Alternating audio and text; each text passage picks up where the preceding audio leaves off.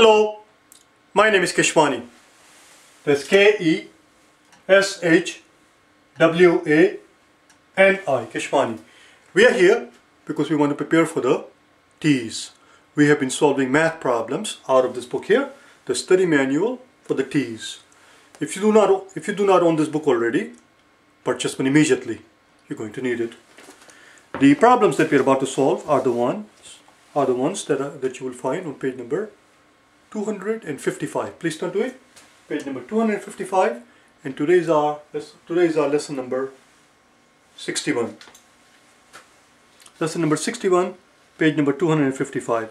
On day 1 through 60, for those of you who've been watching these videos uh, in the past, you know that on day, day 1 through 60, we did the practice problem, the exercises that they give us on page number 50 through 110.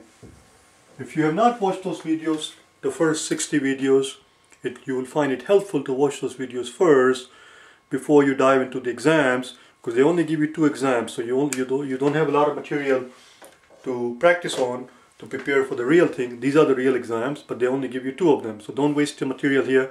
Uh, make sure you, for, for, for practice purposes, for exercise purposes, this is the material that you want to use on page number 50 through 110 we have solved every single one of those problems on day number 1, 1 through 60.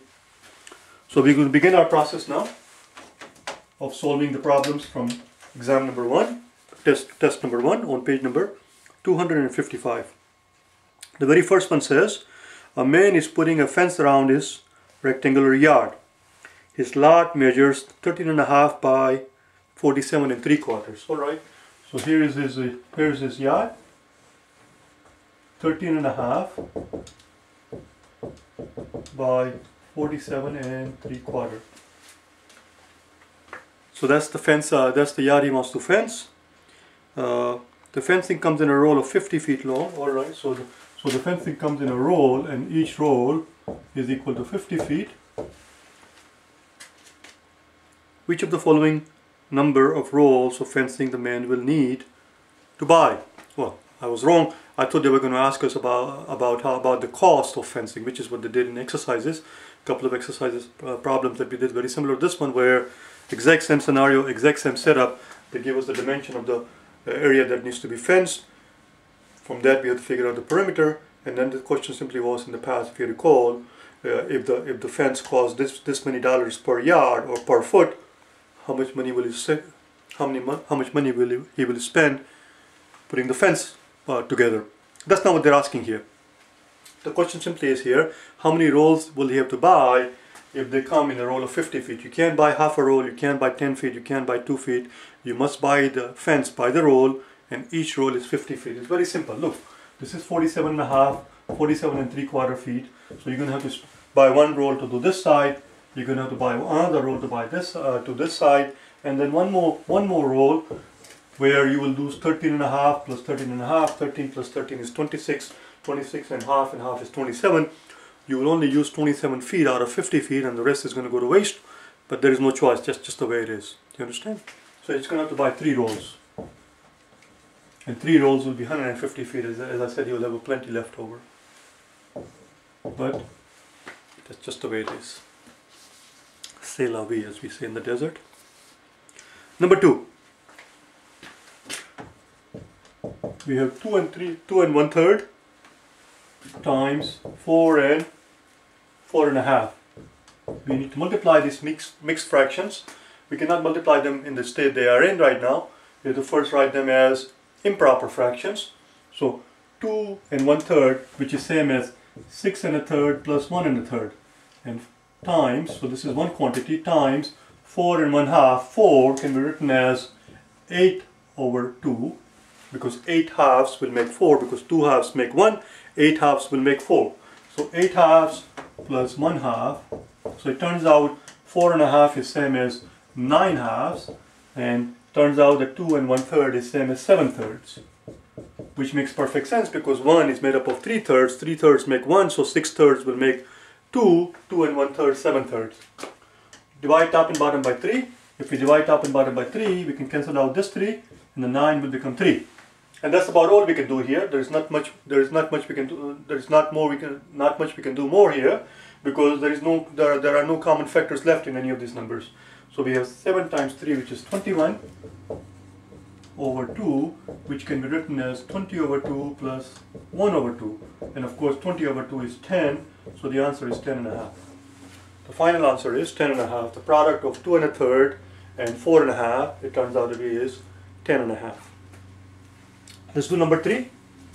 Again one more time I'm reminding you here I'll probably do this several times I'm reminding you that I'm assuming that you have watched all the videos before 1 through 6 1 through 60 because that's all they're looking here all the concepts that we learned before uh, that's the, we're going through those concepts here in, in the exam for example the next problem that we do there next problem that we're about to do we will have to convert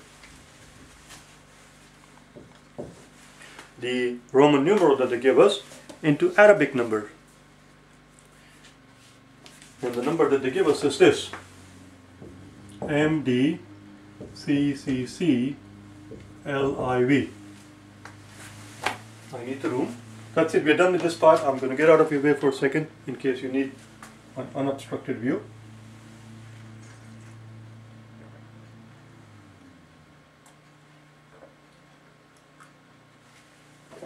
Alright, that's it, we need the room.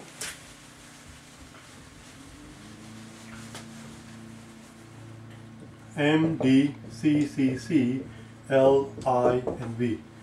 If you recall, we learned how to convert Roman numerals into Arabic numbers and Arabic numbers into Roman numerals. We spent two days on, that on that subject and you will find that information on day number 35 and 36 in, in the event that you have not watched those videos or perhaps you have and you want to uh, uh, rewatch them because uh, you, it's not fresh in your mind. But anyway, on 35 and 36 we learn all of these concepts and we also learn on 35 and 36, on day number 35 and 36, that Roman numerals, Roman numerals are additives. Uh, Roman numerals are additive. It simply means that we just keep on adding. Do you understand? Romans had no way of writing 7. The only way they knew of writing 7 was 5 plus 1 plus 1. That's the only way they knew of writing a 7. 8 would be 5 plus 1 plus 1 plus 1. And how did they write 9? They wrote 9 as 1 less than 10. When a low, lower number appears to the left of the higher number, when a lower number appears to the left of the higher number, you subtract the lower number from the higher number. So this is how they wrote their 9. This is the only way they knew, they knew how to write uh, 9. How did they write 20? Well, the only way they knew of writing 20 is 10 and 10 until the Arabs came along and they taught them how to write the numbers in the Arabic way, which is more efficient, obviously, far more efficient.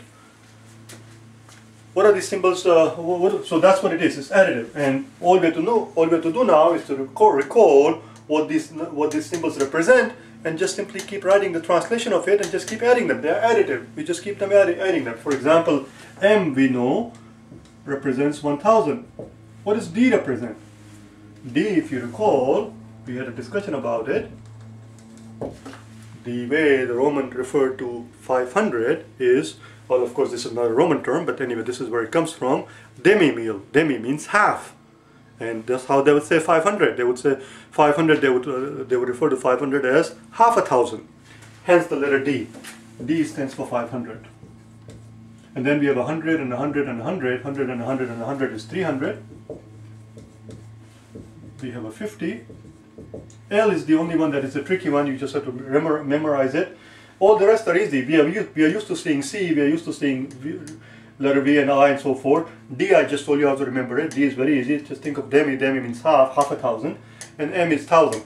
M is thousand because, well, right here, mil means 1000. In French, mil is 1000. Uh, and, and, and of course, French word comes from, that is the root of it. And mille does not mean 1 million. Uh, so where were we? So now we have to do i and a v, which is just 4, because it's 1 minus 5. Or rather, 1 minus 5, that's right. This is, this is rather 5 minus 1, not 1 minus 5. And that's your 4. That's it, we're done. So 1,500 and 300 is 1,854. That's all. That's all there is. I will see you tomorrow. or we'll continue our journey, okay? On 4 and 5. Bye now.